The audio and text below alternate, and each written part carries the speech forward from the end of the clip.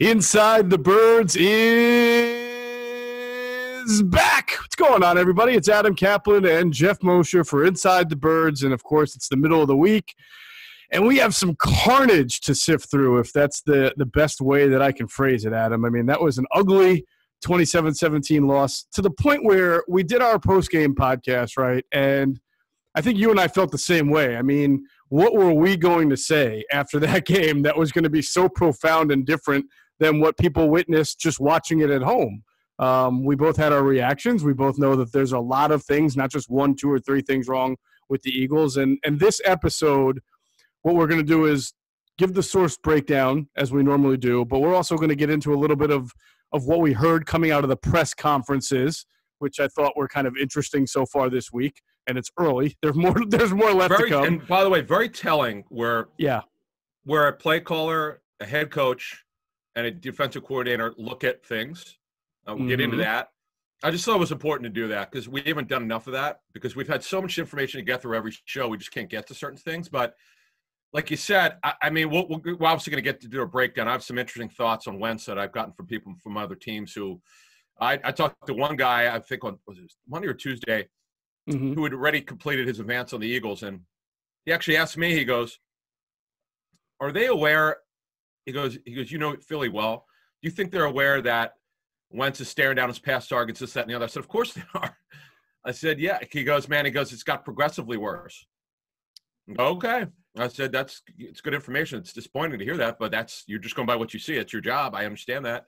Right. Um, but you know, we learn as we we speak and and then from a club standpoint, you know, the, the, head coach said some things which I take umbrage with, with about, and quite frankly, because so did other people I really respect around the league, which I, who I ran through, and I know you you know you've got some strong opinions on it, and we'll get through that. So there's a lot to get to in the show.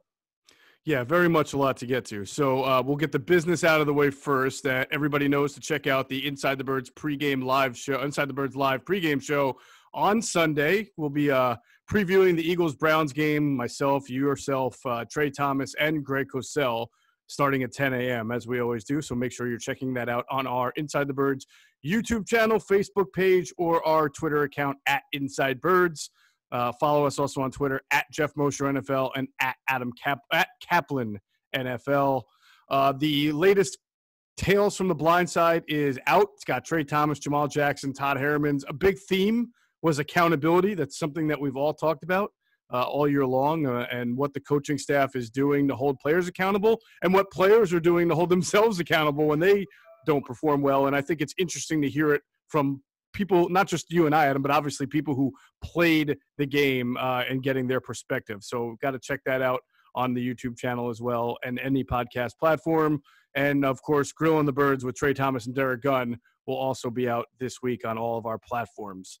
Uh, let's talk a little bit about the transactions because I think the interesting one, yeah. Adam, was of course Zach Ertz getting activated into the 21 day window. Now, it's hard to know what to make of these things, right? Because we were the, two weeks ago for the Dallas game, it seemed like anybody who was activated into the window played that weekend. Uh, last week, Seumalo was activated in, but he clearly wasn't ready to play. Yeah. So the Eagles on Seumalo, the Eagles went into the week thinking he was going to play. I was told by two pretty good sources they felt pretty good that he would play. But the problem is when you're coming back from a significant knee injury, this is a significant knee sprain, as, as I understand it, you really don't know until he practices. And as the week progressed, I think Pederson actually, uh, whatever press conference was, maybe it was third. Well, he doesn't do it Thursday, so maybe it was. No, I think it was Friday where right. he alluded to it. Yeah, right. I could hear in his voice that it was it wasn't it was certainly not a done deal. And I remember putting my notes Saturday, even before they they announced any of the transactions. I was like, I, it doesn't sound like from what I was hearing he was going to be activated. So we'll see what happens this week. Um, but getting back to Zach, look, I I, I said it the, the, when he got hurt, uh, he was told I had heard that uh, it was a four to six week recovery. Uh, this is on the early side. This is the fourth week. I mean, he conceivably he could be back this week. Uh, and I've said this for years. I mean, Zach normally comes back a little bit earlier than you expect from injuries. And as a matter of fact, there was a there was an injury which almost really ended his career uh, many, many, many years ago. Uh, chest injury, which it was in a spot where you get concerned, but he came back from that early. He came back from the uh, sports muscle core surgery really early. He just has a history you know he really cares about the club and coming back early and doing the right thing. So uh, we'll see. Well, the only thing is they don't they don't have to put any information out on this. They're not required to by the league. I wish the league, by the way, would change that. That if the guy practices, you have to put a report on him. Who cares if he's on injured reserve? Did, did he work or not? How much did he do? I'd like to know that. But yeah, that does okay. make sense. I agree. the only team that did it was the Jaguars. They did it with um, uh, backup running back uh, Ozigbo when uh, he was come back from a hamstring injury. But so that's what that's right now where Zach is. Right. Okay. So I guess we'll have to, like we say every week, we'll have to see how he does a practice and and the kind of read between the lines or read the tea leaves of what the coaches say uh, on on Thursday and Friday when they do their press conference. We'll, we'll know. We'll, we'll, we'll definitely know this. We'll we'll know. Yeah. We'll, we'll know. We might actually have something on this for Friday Friday morning show because I'll I'll try to get practice intel on Wednesday and Thursday just to see where he's at. Sure. But like you said, Doug's usually pretty. Doug, I'll say this about Pederson: all the issues I've had with him this season in terms of coaching. Uh, I've had my issues in the way that the team has been run, but someone is just evaluating the thing. But I do like he's generally pretty straight up with injuries. Mhm. And he's also not always right. Not every head coach, when they're trying to project if the guy's going to play or not. But if you've been win- reading between the lines this season, he's been fairly accurate with his prognostication on if the guy's ready or not. That is true. Um, next guy uh, is Craig James, who went on IR with a shoulder injury that he's already been missing games for. So to me, that's interesting. They wanted the roster spot open, clearly. Um, and I don't know if this is going, I mean, nobody knows because you don't have to designate it. If this is going to be three more weeks upon yeah. the weeks that he already missed, or if this is Yeah. like they tried to see if it'll get better, it's not, and he may be out for for much longer. But the the reality is they have you know, very thin margin of, of error or injury at cornerback now because of their lack of depth at that position, which we talked about a lot in the offseason and preseason going into the year. Yeah, I, I would say on James, though, he got hurt in last week's pra- um, Wednesday or Thursday practice because it was a really odd deal. And I see Mhm. this a little bit over the league, around the league. He came in with a hamstring injury. That's the way he was listed on Wednesday. On Friday, I'm gonna, I'm gonna. Say, I, it was either Thursday or Friday. They changed. They took the hamstring off, but they put the shoulder on there. That would indicate that this is the new injury, which it had to be, and it, then he got hurt in practice. Now, as you said, he's on IR, and then um, the the the guys who were brought up last weekend were were uh, also added on Monday. They they they reverted back to the practice squad. Wilson, McGill, and Jacquet. Right. Uh, Jacquet, who all of a sudden is now the number one backup corner on the outside, How about that, huh? undrafted free agent. Yeah. So uh, it's been that kind of a year for the Eagles and their depth. Of course, they brought back Adrian Killins, to the practice squad.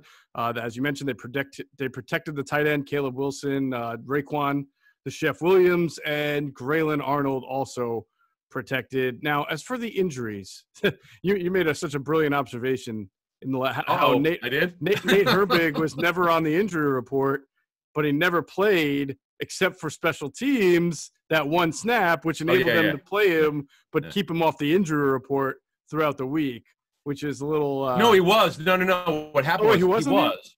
No, that's no. right, What that's happened right. was he was, but what happened is they didn't give him what's called an injury status. Mhm. it's it's considered probable is the ways to explain to me. I, I asked this question years ago because when they when they changed injury reports like six or seven years ago, where teams didn't have to list statuses until Friday. Remember they used to have to do it on Wednesday. Clubs complain because how are you going to tell me that I got to say the guy's questionable on Wednesday? He didn't even pra- he's only one day of practice. What they, they didn't clubs didn't want that pressure anymore, so the league gave in. That's fine. Right. But so Herbig was on the injury report last Wednesday with a finger injury, uh, and they they didn't even give him a questionable st- or doubtful or out status on Friday, which means he's playing. And what happened was he played, but only one snap on special teams, which we didn't know anything about this. They kept it quiet. Now, what I had heard uh, heard is his hand, whatever it is, maybe it swelled. So okay, maybe it did on Saturday. They thought he might be able to. They saw in pregame warmups whether he was available or not. Okay, that that it is what it is. Then we'll see on Isaac, as we mentioned. Then Rudy Ford also got hurt in the game. He, he had another injury. He's had a bunch of minor injuries. This one's a hamstring, and he's important to their special teams. He's their fastest special teams player. Yeah, he is. And remember, they also have Marcus Epps who remains on the COVID list, and it's Mm. been a couple weeks now. And all I can say is, you know, there's yeah, there's never been okay. any information given. You, you just No, hope the he's guy is okay. Well, they don't. Yeah, they're not required to, and nor nor should they. Right. Right. Um, That's why we just Carl said we hope he's Armstead, okay. formerly of Temple, who's with Jacksonville, won't play this season. He's got a bad case of it. That that's concerning. Yeah, I hope he I I hope he know. hope he cleans it up. You know, it's Yeah, he's been in the Ford, but- hospital. If I'm if I'm not mistaken. Yeah, he's, he's been. yeah, I feel bad. So uh, you know, let's hope Ford's. I mean, uh, Epps is not too bad there, but that would be it for injuries. Like they now again, we'll see later today on Wednesday because there's we call the midweek pop-up injuries, which no one knew about. This happens a lot around Right. the league, so we'll see if there's anyone new that wasn't on there before, and we want to see how Sanders came came out of last week's games. He's still listed with an injury. Mhm. Quadriceps for Jackson, the D tackle, who's had this lingering for about four weeks. That's another Mhm. thing you want to see. Are they still listed on the injury report? That's right. All right, so um, let's get into uh, a few things from a press conference standpoint. Before we do that, of course, we're going to talk about our friends at PHLSportsNation.com, enhancing the fan experience with all their coverage of the great Philadelphia sports teams the Eagles, the Flyers, the Sixers, the Phillies, even the Union. They are for the fan, by the fan. That's their motto. So make sure you're checking them out at PHLSportsNation.com and also on Twitter at PHL Sports Nation. We'll pause real quick for another word from our great sponsors, including our friends at Sky Motor Cars. All right, Adam. Uh, the the press conferences that Doug did on Monday and Jim Schwartz on Tuesday um, did not win them over any any fans, specifically Doug, who was. And I almost think that there's a strategy behind this because you know I've got nothing better than do to to try to parse words and figure out what's going on from a man who has generally been the same kind of guy for four years, but now all of a sudden is not the same kind of guy. And to me, I don't know. I think that there's some intentional uh, play going on here by Doug Pederson. Um, How so? I mean, you, you heard the press conference. He was very combative, very oh, sarcastic. I've heard it. In fact, hey Geoff, real quick, I was so Mhm. pissed off listening to this press conference. I seriously thought of calling you and said, "Let's do an ITB TV because this this is nonsense." Right. I was so fired up. I, I usually don't care about coaches' press conferences when I when I listen to them around the league, Yeah. but this one was such a train wreck to me in, in certain ways. Like, so because the problem is because you're not. It's not the free for all when you're face to face. You got to do it through Zoom. Yep. It's hard for them to ask a follow up. I was so I was so taken aback by some of his responses. I'm like, no, this is not this is not what happened. And I had good intel uh, Monday morning from some people that were able to watch the tape, and it, gave me some stuff. Like, man, I would have refuted some of the stuff that he said. Right. I, I was just, I- I'm to the point with Pederson. With he's trying to he this may be what you're saying, but I just want to say this. It may be the point with this guy that he's trying to defend himself by not admitting stuff we all know. This this is what's It's happening now. It, you know, that's I Yeah, well, maybe. I, I mean, I have two thoughts on this. One Yeah. is that he has been Mr. Nice Guy for four years, right? He has always coddled the player, he has always protected his players. He has generally seen positive response by being that kind of a player's coach. I feel like he expected, at very least, going into the bye, um, when he was stern on turn, turning the ball over, and only you know he made them come in on Wednesday. So you're starting to now see a gradual shift here, where Doug and he's had to do this at times before, where Doug has to tighten the ship a little bit more. Still love on guys, but tighten the ship a little more. So he brought him in Wednesday during the the, the bye week for a walkthrough, and he was very stern about the turnovers. And then they came out of the bye week, and I'm not absolving Doug. I'm just simply saying about from a performance standpoint. They came out of the, the bye week and were just completely flat and lifeless, and it's almost like nothing Doug said worked. And so I think Doug may have looked in the mirror and said, you know what? Mr. Nice Guy is not working for this year, this group. I'm going to start to lay the hammer down. And I'm going to be a, and I don't know if that forces somebody to be So, so even you combative in the press conference, but right? I think he's trying to project, uh, hey, you know, let's get our you know what together type of attitude as opposed to let's just love on everybody all the So, time. so you had heard it's uh, just to, just to make sure I heard this correctly. You I heard he chewed them out after that game. Yeah. By two people. Two people told me Doug Okay. chewed out the team. And they, I said, well, is that the first time he's ever done it? No, they said no, but he really, they said he really gave it to us Yeah. after the Yeah. game.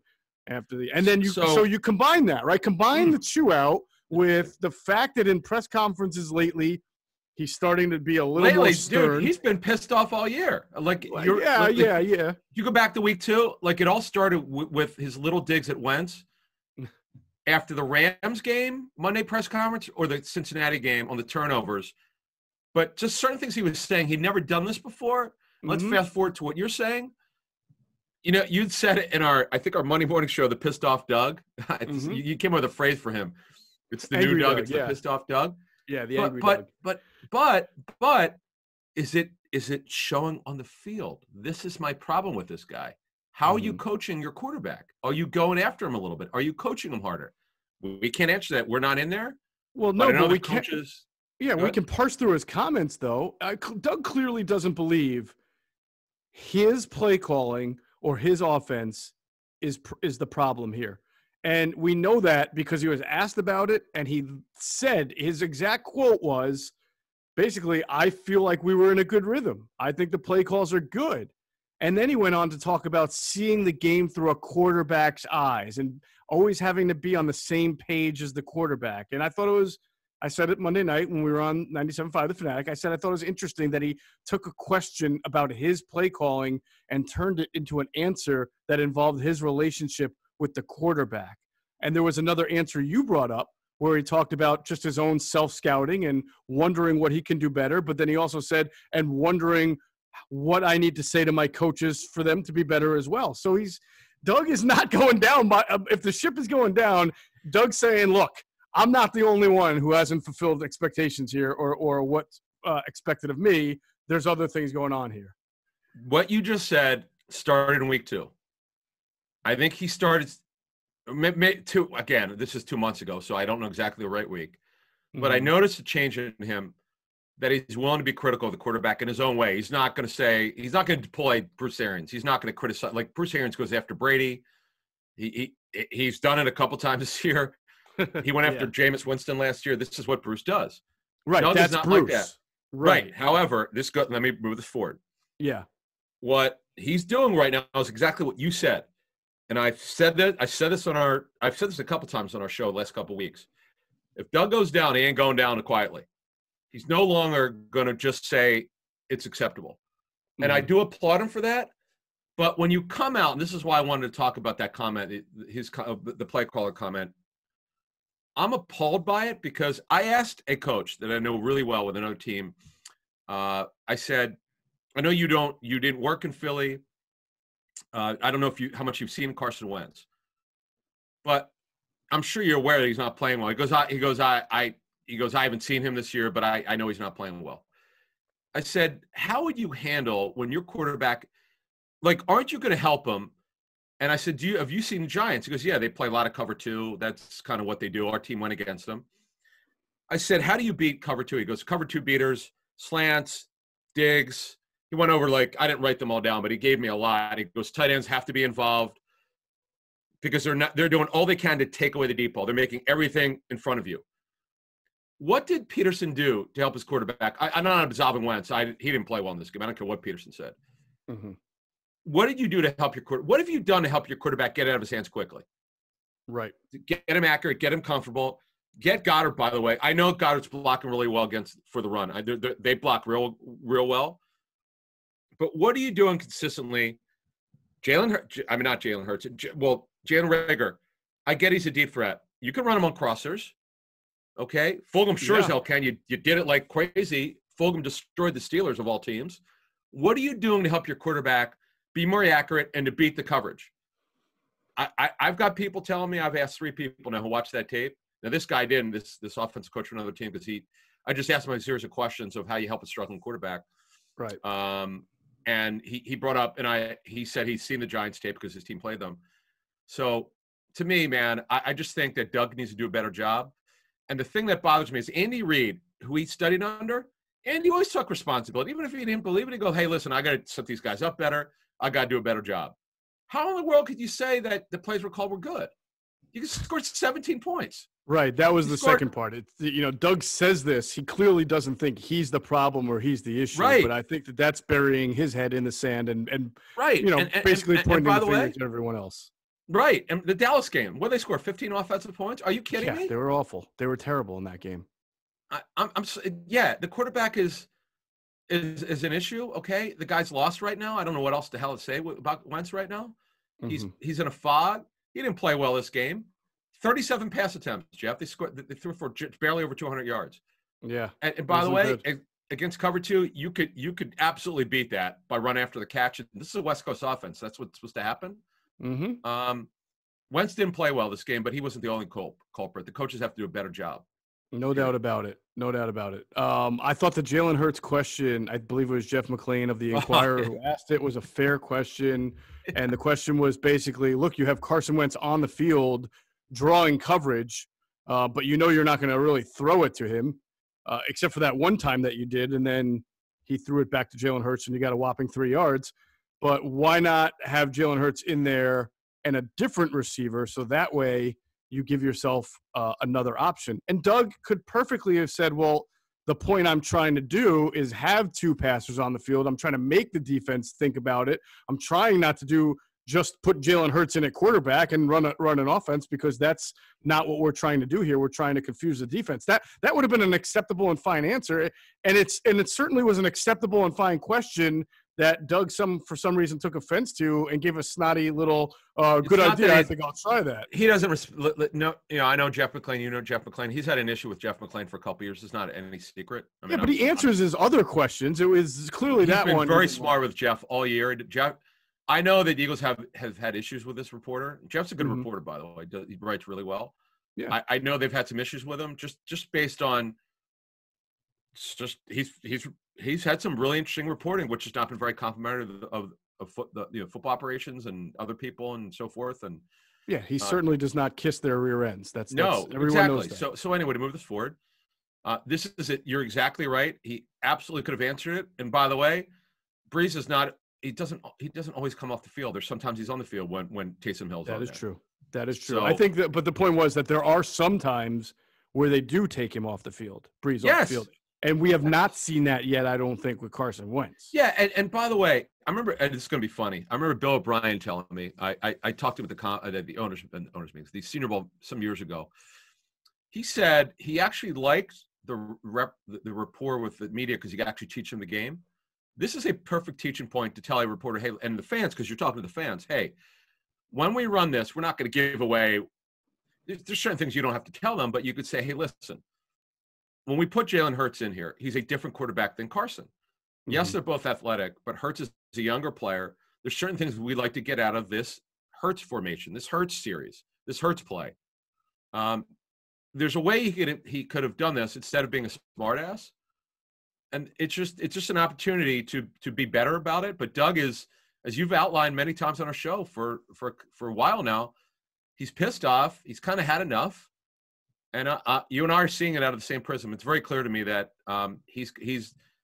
I also think he's feeling the pressure a little bit.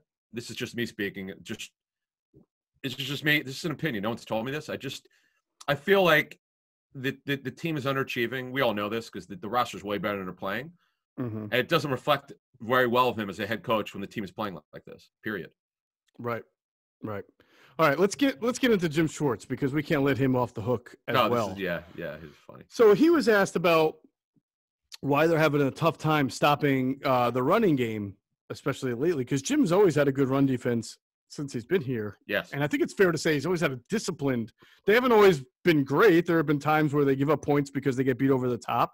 I think when they do too poorly, that's that's usually the reason. They very rarely get get run on. There are a couple games I remember two years ago where Barkley and then somebody else ripped oh, screens. Oh, well, well Barkley even, even with runs, but they were really yes. hurting yes. at that point. I mean, yes. this is atypical what we're seeing. And Jim's first comment was, "Well, you know, a lot of those running yards came from Daniel Jones." well, that's that's still not but good. But you know what? Okay, okay. Here's the problem with that. I, at least I can only speak for myself. I will no longer talk, specifically with this team. Mm-hmm. I will no longer talk about the running backs. I'm going to talk about the run game defense. Okay. Because Eagles are so bad against athletic quarterbacks and misdirection.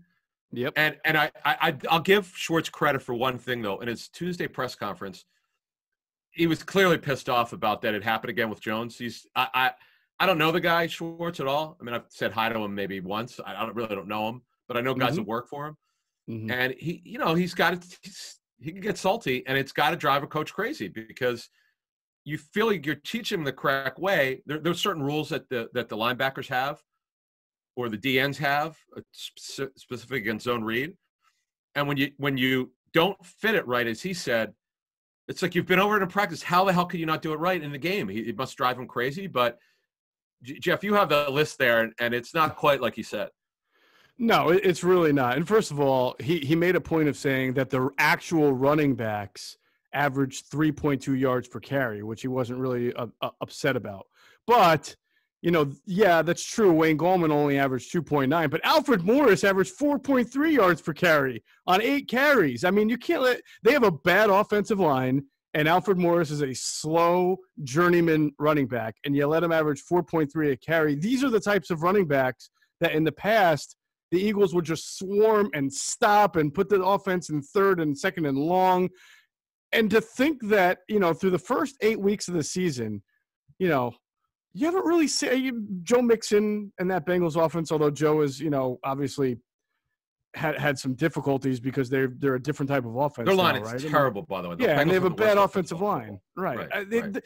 they, they were they didn't get to see Raheem Mostert week two against or week explosive uh, four, I mean, against Yeah. San Francisco, Yep. right? Yep. Conner, 15 for 44 and a touchdown. McCloud, as, as you you know, you pointed out, McCloud had a couple of reverses on him. Ray Ray Ray Ray McCloud. And by the way, Aiyuk got him on a 30-yard run. Okay. Right. So th- You- the worst is yet to come, though, my friend. Right? I mean, like, right, right, right. Couple couple things. Darrell Henderson got them. That that touchdown, he gashed them up the middle. yes, he Uh, did. Darrell Henderson, 12 for 81. So guess what? Darrell Henderson, he got them. That was one running back who got him. Gibson, it was Antonio Gibson's first game as a running back in his career, hmm full full time running back. He did a little bit in, in Memphis, but he was a slot receiver generally there.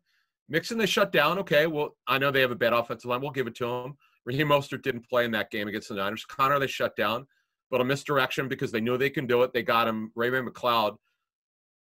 I was two for 63. I'm like, uh, it's funny because I'm like, wait a minute, who is 14? Who is this guy? Oh, that guy used to be with Buffalo. Okay. Right. Jackson, see again, run game. Lamar Mhm. Jackson got him 9 1 away, broke their bats, broke their backs. That lost them the game. They couldn't stop Jackson. Jalen Jones got him Didn't the, uh, didn't Duvernay have a uh, a reverse in that game that went for a few yards? Yep. uh, might have been. Uh, Daniel Jones got him the next week, four for 92, including a run where he fell. He should have scored. He just fell. They got Right. lucky there, so they got him. Tony Pollard got them as a change up to Elliott. They did a good job against Elliott for the first time, really. One of the few one of the few times they've done well against him. Uh, Jones got him again. Okay, Jones got him again. So here's the problem: they're an undisciplined defense at linebacker. They they th- though they're both Singleton and Edwards have gotten better. There's no question they something is going on with the lack of discipline, with misdirection, and these non-running backs, quarterbacks, wide receivers in the run game. They got a real problem because it, it's already cost them games. It really has. And like we said, look who's coming up. You got Nick Chubb and Kareem Hunt, the best running back tandem in the league, coming up this coming week against uh, Cleveland. And then you're going to move on to get Aaron Jones from Green Bay. And then you're going to get Alvin Kamara from New Camaro, Orleans. kill and them. Oh Kamara- God. God, that's that might be ugly. Well, well, here's Right. the thing. We we we've been saying for a couple months. It shocks us that te- teams, for the most part, and it may be just because the personnel wasn't good enough. They have not really attacked the Eagles linebackers very much in the past game. Mhm. Not as much as I thought would happen. Kamara will do it. Aaron Jones will. Aaron Jones is so underrated as a pass catcher. Seattle is all beat up at running back, so I, I would dismiss that. Other than Russell Wilson misdirection, fake handoff, go. You know Yeah. he's he's gotten in the past, and the thing with Chubb and uh, Hunt, but they're not outside of formation running backs. Hunt will catch the ball. Chubb rarely catches it. I, I we'll get into that on Friday's show, but I, they're they're they're going to have. Oh, and by the way, I cannot wait. It'll be must see TV. Well, it won't be for Eagle fans, but for all of us who love football. Mm. Week 15 at the Cardinals. Kyler Murray, forget about it. What he is Oh, doing, dude. Oy. It's unbelievable. He's like doing what Lamar Jackson did last year. It's it's Oh. unbelievable. Unbelievable. Um, I'll say this though. I think what we're we're saying here though is that while teams might not yet have really hurt the Eagles linebackers through the passing game, they're doing it through the running game. Eagles linebackers are not they don't do a great job of getting off blocks. That's why they are who they are. And even, you know, even on that Daniel Jones run, yeah, you had uh, Josh Sweat crash the middle, but Alex Singleton could not get off the block to even limit how long that run was going to be. And uh, I thought a couple of those Alfred Morris runs up the middle showed you that those guys just were not doing a good job of getting off the blocks consistently throughout Yeah. the game. And that's going to be tough when they have to defend those running backs that we just spoke about. All right, let's get into our film review. Uh, before that, I want to remind everybody to download the top rated DraftKings Sportsbook app today and get your sign up bonus using the promo code ITB. That's promo code ITB to get all your sign up bonuses when you download the top rated DraftKings Sportsbook app.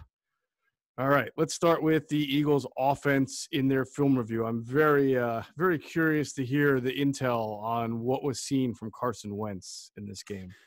Yeah, so he is really staring down his pass targets. It's, it's, it, it, he's also he's got a very bad habit.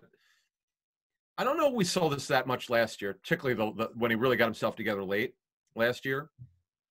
This year, he's predetermining so many throws. So, like, there was a throw someone told me um, it was because they played a lot of cover two in this game, but I, I it, it, was. Um, was it the ones to Jalen Reagor along the right sideline? No, but that was it? I know the player talking about, but there was a look. This one person said that he absolutely should not have gone there. That was not the throw. It was covered. Mm-hmm. He, was, he predetermined. He was throwing it anyway, and this is just not good football. Like that, mm. I, I can't because I I don't I didn't play the quarterback position. Okay, I didn't play football. I don't know, and you know, we've asked Greg Cosell this just from a just from what the, the guys we talk to uh, for our shows that are on with us, like like Greg and Trey. But when it comes to Cosell, Greg, you know, Greg has said it many times. He doesn't know. And Ron Jaworski, I asked him this last week when I was on a show. Even though he played the quarterback position, sometimes you're not seeing it. But when you're predetermining what you're going to do, it's like you're not listening to your coaches. Like I'll defend their coaches on one thing, there's some throws that Wentz is making. They're clearly not what they want. That that's not to throw. But you know, it's one thing, Geoff. If he'd been playing at elite level, like 17, part of 18, because at 18, despite really no speed, he did a good job of managing the game. He did a really good job in 18. 19 mm-hmm. was we know is very up and down. This is the worst that he's played. The coaches could say whatever they want to him, but when you're not gonna when you're not gonna do it the way it's drawn up, oh, hey, I thought I had this, whatever he, might have said when they went over the tape and asked him why he did that.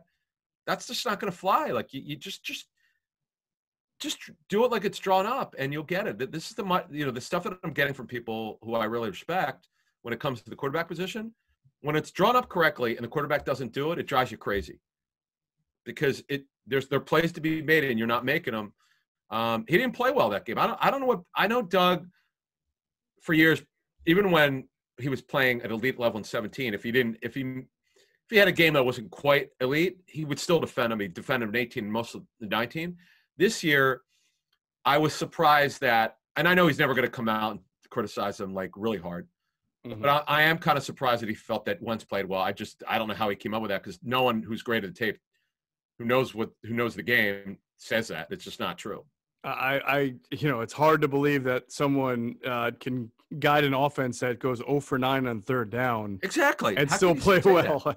Uh, uh, yeah, I think Doug, that's just Doug being Doug right there. Um, Miles Sanders had a good game running, not necessarily a good game receiving the ball or protecting the passer.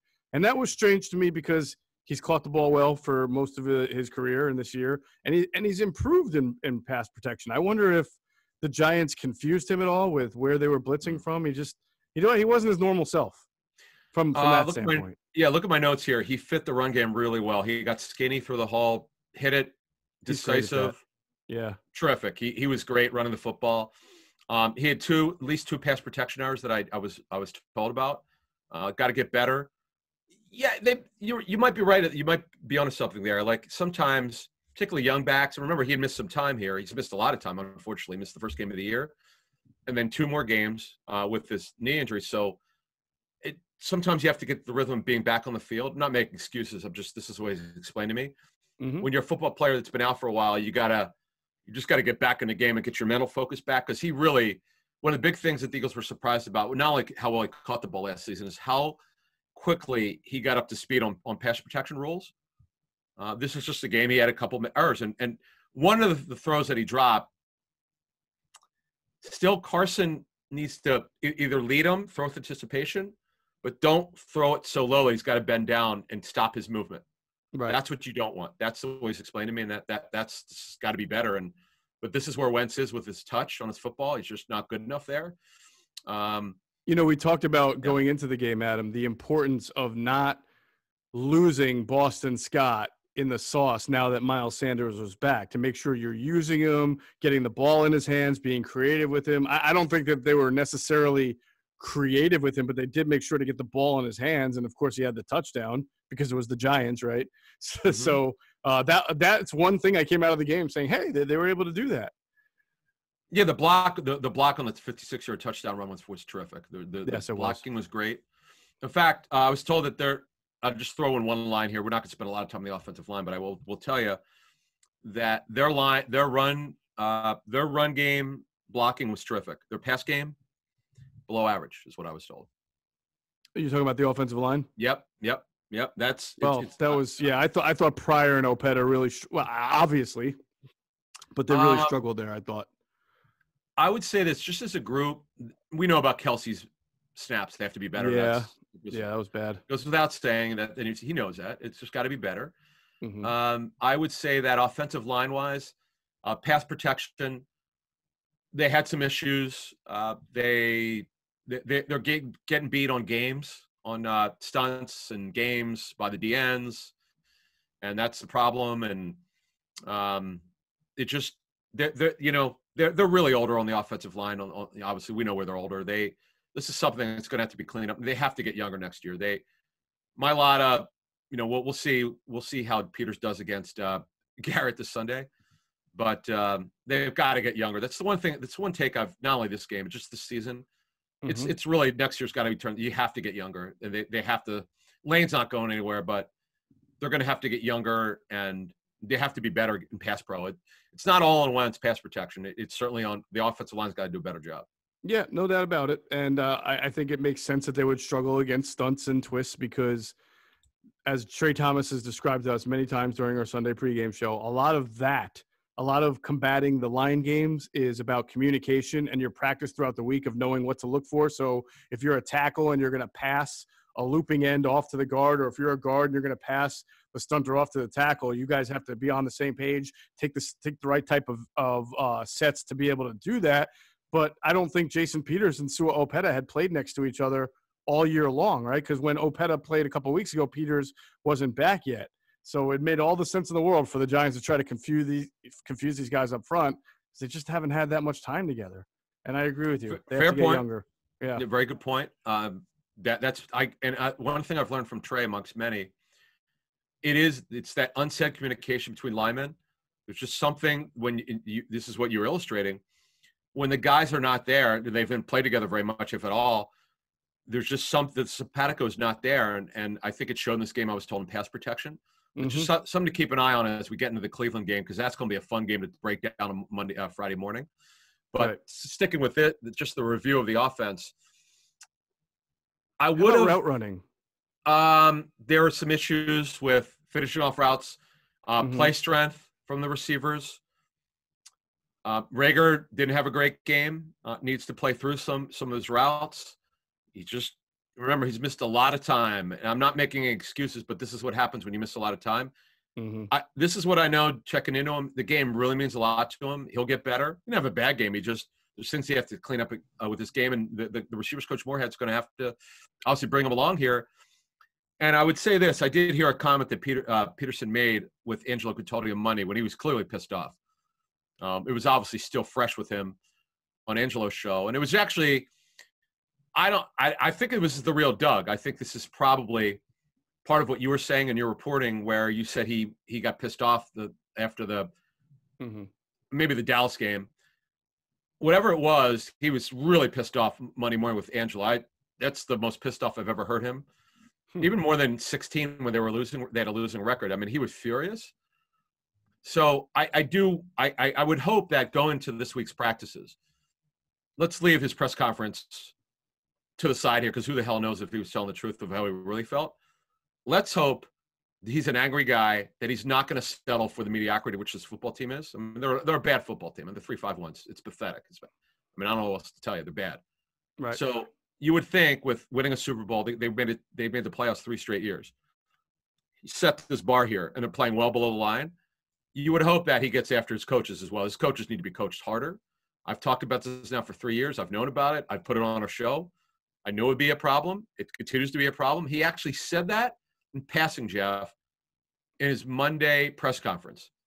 That he he said I can't remember the exact phrase, and it was what I had heard was not in the transcript the way he said mm-hmm. it, but I do remember him saying also needs to do better. He, the way he said it was like, I, and also I got to coach our coaches better, maybe something yes, like he did. He did say that. He okay, said, I have to so look in the mirror. He so, said I have to ask myself what I. It's in the trans. I thought I th- saw it in the transcript. Not he the way he to, said it, though. Not the way I heard it. Oh, oh maybe Yeah, the tone was even a little bit different than the way it Right, translates on exactly, right, exactly. So Yeah. because I've been waiting for him to admit that because Andy, Andy Reid, his supposed mentor, one of his mentors, hmm no one did it better than any coach that I've covered in in 21 years of, of this business. No one did it better than Andy Reid coaching his coaches. Where did he learn it? Mike Holmgren.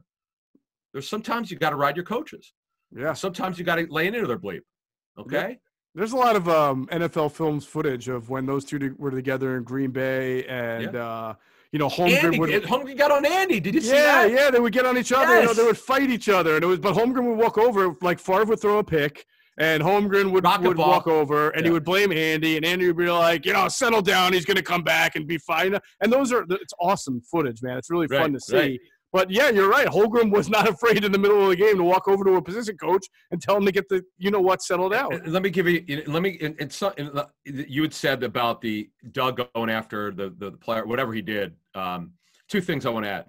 So I reported uh, Michael Silver also had the same story, similar story, but I could. I'll, I'll- I'll give you a little bit more detail. So I I probably talked about this once on our show, maybe a couple years ago, but Doug can go after it.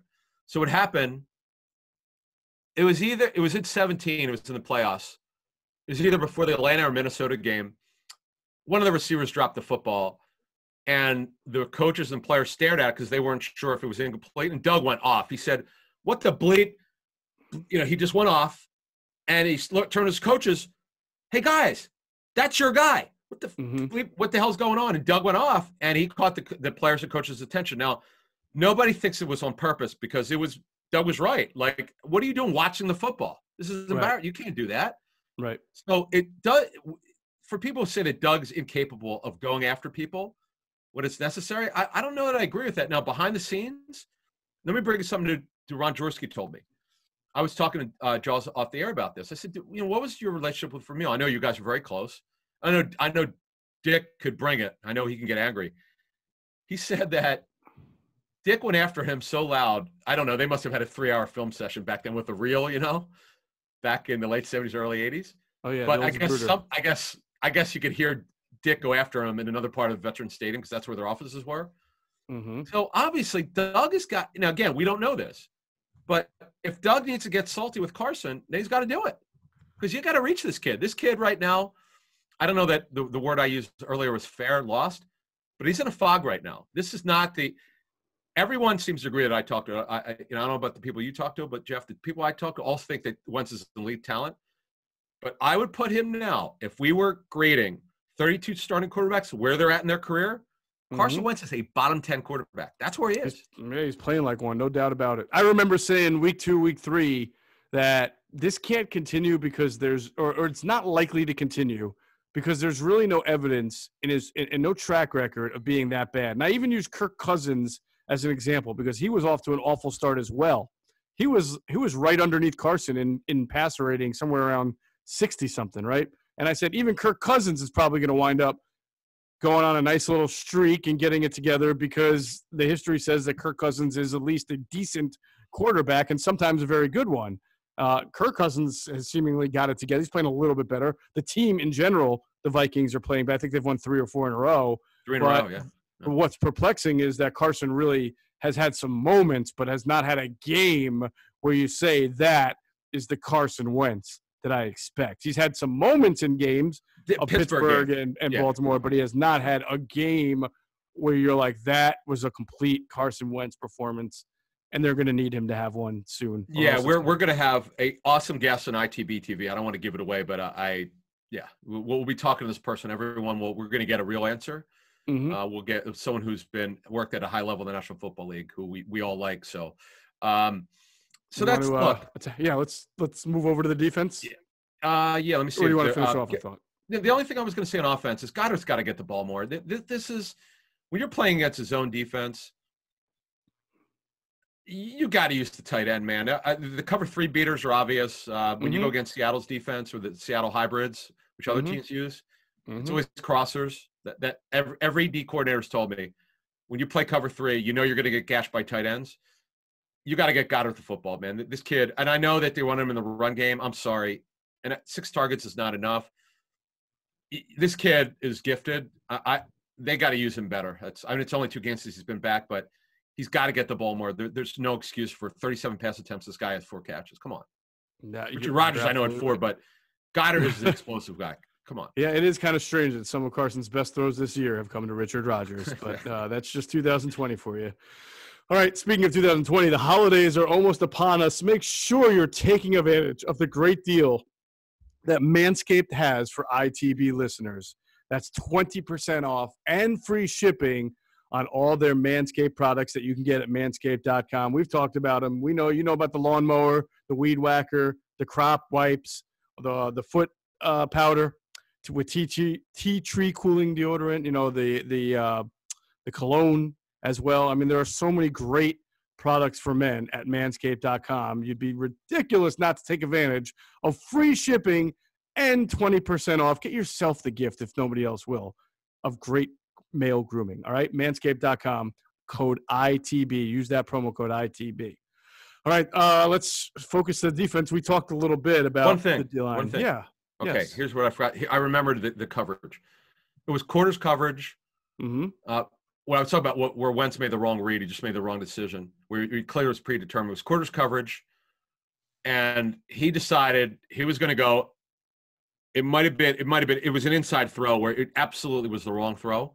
Mm-hmm. And this is this is kind of what you're getting with him now, where he's predetermining stuff, and it's this is not the, the special Carson Wentz, obviously. And I'm hoping I know the coaches show him the stuff. They just for them before we move to defense, for them to rescue him, they're going to have to reach him at a certain level, which they whatever they're doing is not registering. They're going to the, the, right now Carson Wentz is in crisis. This is no longer a concern; it's a crisis, and they're they're mm-hmm. going to for them to win this division as bad as it is. They still right now the Giants uh, they not only did they they dominated them. Right now, to me, they're they're better than the Eagles. Oh, I think that's that's that's fair to say. I mean, it's the series is one is one, but uh, you know the the Eagles kind of squeaked by the Giants, had to come back, and then the Giants just came out and beat them by ten points. So that's fair to say. But the way this division goes, it's week to week to week. Could be Washington yes. in three weeks. Could be the yeah. Dallas. You know, Dallas gets um, what's his face back, Andy Dalton. Not that that's yeah. you know, it, it's better than Ben DiNucci. I'll say that. So we'll see what happens with them. And their defense has had has started to play a little bit better. So it is week to week. All right, the defense, defensive line. Man, I'm I have mixed emotions about you know how the defensive line played. Did they did they got a couple of sacks? They generated some pressure. There were times they moved Danny Jones uh, off his uh, spot, but I I feel like it's fair to say you expected more. You expected him to be a little more stout against the run and you expected them to finish off a few sacks and take advantage of an offensive line that's not very good. Like they should have dominated the line of scrimmage, and I don't feel like they did from start to finish. Yeah, the uh, Andrew Thomas play well, the first round pick. Um, I, I oh, by the way, uh, you know, Jay Glazer reported Sunday morning. I knew about this, but I didn't know it was it's drastic. So the defensive line coaches during the week, and I don't know if they were in the game or not uh, at all defensive line coaches, we know that Washburn is one of the three guys. Mm-hmm. Jeremiah Washburn was out with um, whether he has COVID or he was close contact. He was out, but apparently uh, Nate Ollie, the assistant coach, and uh, Matt Burke did not were not with the team Wednesday, Thursday, and Friday. Jake Lynch reported that on um, on Fox Football Sunday. Mm-hmm. I'd heard I'd heard earlier in the week it was Wednesday, but I didn't know they were out the whole week. I'm assuming they coached the game. I don't I don't I don't remember. But anyway, Connor Barwin coached the defensive line this week. Wow. That's what Jake reported. I was, I, I, first of all, how the hell is this not like none of the beat reporters got this? I was surprised that it didn't get out there. It was a good, good scoop. I was not aware of that. That was pretty interesting. Yeah, the Eagles did, did a good job of keeping that one in house. Well, maybe, maybe again. Now I don't know if these guys were back on Sunday at all, but they didn't. This D line, I know they had. I know they had three sacks. They had eight quarterback hits, but come on, Daniel Jones was comfortable. Now, Schwartz alluded to it and it's true. They were a lot of quick drops, get it out of his hands, and to get the Eagles pass rush. Okay, we've yep. seen this before against the wide nine. This is the way you defeat it without having to even scheme very much. You just get it out of the quarterback's hands quickly. Right. But Uh, th- this D line didn't have any energy. Did you sense that?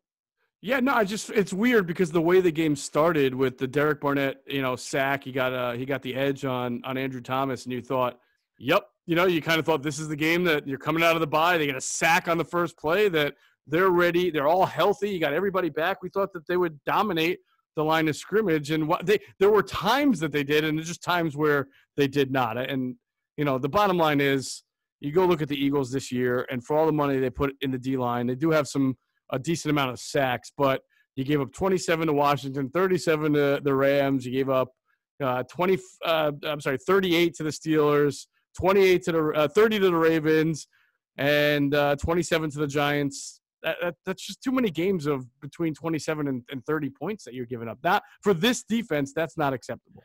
Right now, some of it was when they got gashed by quarterbacks running the football, or get you know whatever. yeah, it is, whatever it where- is, it's just it's right. just not, ex- not yeah. good enough. Uh, the, the, the, the thing is, the D line actually gets a ton of pre- they get a lot of what quarterback pressures. They get a ton of them. They're Mhm. if they're not PFF's number one graded D line, they're certainly top three. But our own eyes tell us it's not. They're not as good as those numbers would indicate. They're good. They're very good, but they're Mhm. not. I would like to see them take. They've not taken over a game where simply the other the offensive line cannot handle them the whole game. Like they've not dominated from the beginning to end yet. I'm waiting for that. Right. I thought the Giant game would be that. It, it certainly did not. Maybe the Dallas game. Uh, the, the I mean, uh, maybe a game like Cleveland. I doubt it because Cleveland's actually got a pretty good offensive line. I don't Yeah. see a team. The Saints line is awesome, by the way. If you Mhm. look at if you look at the offensive lines of the teams that are playing, man, I mean, they've gotten kind of the the, the, cream puffs are off their schedule right now. It's going to be really really difficult for them. It definitely is. And the same thing as we're saying for linebackers. Uh, they're going to have to get off blocks, uh, especially against Cleveland. Those two big uh, interior offensive linemen that the, the, the Browns have, uh, Joe Bitonio and, and the other guard whose name is Teller, right Wyatt now. Teller's really good. He's been a wow. Has he been surprised? He just came back from a calf injury, but he used to be with the Bills. He's actually one of the more unheralded interior linemen. I'm glad you brought him up that no one knows about unless you're a Browns fan. Yeah. He's been good. I just, uh, you know, the, the linebackers they had they had issues in this game, is sort of what I was told by a couple people. They had they had their moments, but overall they, they didn't play well. I mean, it's Did- just Did, yeah, did you well. notice that Davion Taylor actually played, I think, three snaps in the game? no. I didn't even. I, I didn't either. didn't even. I don't know what what was the determination that got him on the field for those three snaps. Perhaps it was goal line, and they were just you know, you know sometimes you'll see four or five linebackers get in there on goal line, but uh, yeah, I didn't notice it either. So And one, one thing I would add, though, uh, before we go to the secondary, is that you know Schwartz talks about oh that they're whatever three point whatever yardage they're giving up against running backs. What Jim is not saying, because someone else pointed this out to me, so I figured I'd use it. What Jim ought to look at is how many short yardage runs these guys have had and how many touchdowns they've given up the running back. They've given up a ton of rushing touchdowns. no, their red zone defense has been terrible all year yeah. long. So so Yeah. look, this has not been one of Jim Schwartz's best years. Let's let's call it like it is. right. I think Jim's a sound top 10 defensive coordinator, but if you went through 32 teams, look like they're like seven or eight teams that don't really have a defense coordinator. The head coach calls the defense. hmm So, um, but I know they've had their injuries, but you said it. You're right. Their D line is healthy as hell right now. There's no excuse. No, no Right. excuse. So right. So so I got to the val the to I guess um what's the word I'm looking for? Validate you because I know a couple of weeks ago I said Adam, I got a bone to pick with you. I think Uh-oh, we're being uh-oh. a little premature on Avonte Maddox. I said, you know, he was hurt. You, we haven't really given him a chance to really see what he can do for the long term on the outside. He's a nickel corner. He's a slot corner. That's pretty much obvious. The slot corner that you you thought that I think all of us thought was a good value signing oh, of Nickell Robey, Robey Coleman has not been that great either. Dropped an easy interception in his hand, which could have swung the momentum of the game. This, you know, outside of Darius Slay, who also had uh, some eh moments in that game, the secondary's not been very good. well, it, And McLeod, McLeod's been good. Rodney's had a good year, but if I, they drafted him, everyone knows they drafted him to be their slot corner, their nickel corner. Okay, that because he's got most nickels who are five foot nine are not very fast. He he could run. Okay, he may Mhm. not play to his whatever four three, whatever his speed was at the combine, but he, he's fast for a slot corner. They thought, and I, I don't know the reason for this. I never got a straight answer. They and I'm sure Schwartz Schwartz didn't make the call. It's not his decision, but they have to go to him. Hey Jim, we're thinking of not spending any more money because we're paying Slay. Do you think Avonte Maddox could play on the outside? And you know how much he loves Avonte. He's Mhm. smart. He's athletic. I remember we did the show. Um, it was Alshon's first game in 18 against Tennessee when Avonte played safety. We were shocked. We were shocked. Like Jim put, Right. him, we knew he was smart. That's why he did it. Right. But you are what you are. You, you if you have a five nine corner, you better be a great coverage corner on the outside to play that to be that short. Well, Mhm. he's not. He's an inside corner who's smart, tough, and athletic, but just not. It didn't work. I mean, it did. It, they, they, this is something they have. They have to know because they're watching the tape. Our Mhm. people are telling us the same thing that you just mentioned. So it is what it is, and they'll, they'll, they'll have to correct that next year. I'm sure they will. It's one of many things they got to do. Um, this this this Jacquet kid, well, we're gonna. The fact that they, you know, on Tuesday they signed him off their practice squad, which I, I'm surprised they did that, that this early. That would tell me that someone else wanted him. Has Mhm. to be. Why would you Mhm. do that now? You could just wait till Saturday. And in fact, they they um they, they could have waited, but um obviously some someone had to be on him. Um and they did not protect him because they what they did is they they signed him off their practice squad on Tuesday and, and protected three other players. It's, Mhm. my sense is someone else wanted him. Anyway, Interesting. Uh, did you happen to see the stat line for Sidney Jones against the Packers? I know he's playing well. I know. and I he had like he had two interceptions, I think. I believe like seven tackles. He had two PBUs. Uh, I'm sorry, seven pass breakups. I think it was. Uh, it here- was I know. Oh, uh. Cosell said it. Greg said he's been playing well. But here's the thing about Sidney Jones. yeah. He had to go. He he was bad here. I know, I know. He was he was even hurt again this training camp. I, I know that the, I, Yeah. it's not that they cut him. He ha- he deserved to be cut. It's why is it Yes. That another team has been able to a keep him healthy and b get production out of him when the Eagles could not. Well, a different scheme. You know, de- okay, they're, they're, they're running Todd Wash as their D corner. He's running the Seattle scheme, but Well, you got to right. draft players who fit your scheme, though, so that becomes an Right. issue Right. in one way or another. Whether it's coaching, whether it's scouting, It's whether shame. right. player Now, the one that bothers me and still does is LJ Fort one. That they were wrong on that. Ken, Mhm. Ken Flajole was totally wrong on that. I don't care what he says. yeah, L- LJ, I don't care if he's been in 50 teams. Okay, right. the guy, the guy was one of the two best linebackers. In fact, one person said he was the best linebacker in training camp last year. Yep. I don't care about the compensatory pick. Your, your, your job is as personnel staff to make sure you put your best players on the field, not worry about what the coaches think. Mhm. That was a mistake. It was. It was a mistake because not only did he play well for Baltimore and get an extension after two months, their linebackers have been such a disappointment. Though they're getting better now, but they're not still at a, a, a good enough level. They're they're getting better, but they're also undrafted free agents, and you have what you have. And that the the Fort one, it stings a little for them because you hate to see it. You know, you hate to see it when you cut a guy where you think you, you know you the, the, the linebacker coach clearly didn't want him, and he goes he goes somewhere else and plays well. It's kind of it's kind of messed up. Yeah, and then the guy that the linebacker coach did want doesn't even play at an adequate level. I mean, he was playing at a horrific level before Nate Gerry got hurt. So it just adds all the insult to injury. Yep. When when you Yep. when you wrap it up and and you know, final thought on this overall is that it also stings that you're getting nothing from last year's first round pick because he's hurt. You're getting nothing from last year's 57th overall pick because he's now inactive to be uh, to clear room for Alshon Jeffery, who played six snaps, or no, no, we played more than that, but he, he had zero catches. You're getting nothing from your second round pick this year other than two or three snaps a game, and a couple of them were getting fumbled. And you're getting nothing from your third round pick this year. So you add it up all together, and that's that's four players that are not giving you anything right now, and that's very difficult when you're trying to balance flipping a roster while also having some good veterans. Right. A couple things on, on the secondary. Schwartz is absolutely right on what he said because they're around the ball, but they're getting lost in coverage. Like the, the one that Slayton beat him Slay for 40 yards, Yeah. you could see he's there. Because some D backs, they'll, they'll they're going to play the man, and they're just going to wait till the guy's acting like he's going to catch it, and they'll put their hand up because they don't they lose they don't know where the ball is. So it's the technique that they're using. But there, he just he didn't see it, and he got beat. Maddox has had issues this season with ball location. Mm-hmm. Uh, the way it's explained to me is it's it's kind of happening a lot, and it- it- I can't answer this because I'm not a coach. I don't know why it's happening. It's just we know what you know. The people I speak with pointed this out to me. More than one person's pointed out his ball location is just not good enough when he plays on the outside.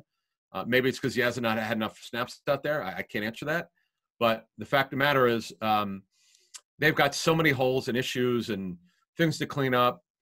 I, I am still I am stunned that they came out so flat after the bye. I I, I don't know, but Pederson's got to get after. And, and I'll tell you what, um, it's just going to get hard for this football team. And it's the first time that that we've covered Pederson on the show that I don't know that it's going to turn around. I, I every time I said nope, it's going to turn it around. He's resilient. That's why mm-hmm. I, have I still have a lot of respect for the guy, but he, he some's got lost here in, tra- in, translation to his players because, and also his coaches because he's got to coach them harder. Man, this is this is inexcusable after the bye to come out like this. This is a joke. Absolutely, it was bad. It was it was worse than I could have even imagined. Uh, and as you're mentioning, it doesn't get any easier. It becomes even more of an uphill climb. We'll preview the game on Friday, 6 a.m. when the next pod drops. That's going to do it for this episode of Inside the Birds, the leading podcast in Eagles Intel. We thank, of course, our producer, Hunter Brody. Check out his work on YouTube. His channel is called Sports Talk with Broads, and make sure you're following him on Twitter at Broads81. And as always, we thank you for flying with us Inside the Bird.